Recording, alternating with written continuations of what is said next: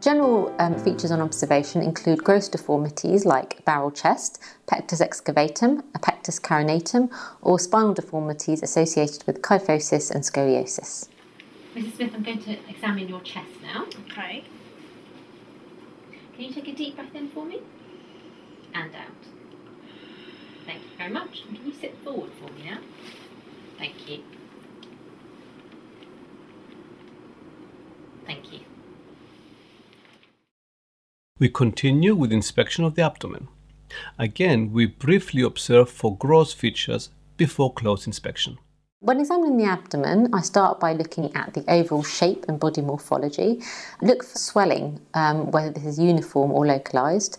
Check for skin lesions and discolorations, such as spider nevi, uh, prominent abdominal veins, or bruising.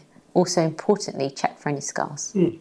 Spider nevi. Now, tell me a bit more about that. Are spider nevi always indicative of pathologies? Um, they're often indicative of liver pathologies. The accepted opinion is that more than five spider nevi on the upper part of the body may be of clinical significance. These might indicate liver pathologies. However, they can occur in the first trimester of pregnancy as a result of hormone changes. Mrs. Smith, I'm going to examine your abdomen now, and for that, Okay. I need you to be lying flat. Okay. Okay.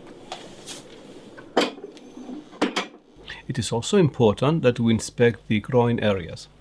Check for evidence of lymph node enlargement of the horizontal or superficial inguinal lymph nodes. Also look out for hernia over the abdomen and inguinal regions. If a hernia is suspected, this can be confirmed with the patient standing and through palpation. I'm just going to further uncover you. Okay.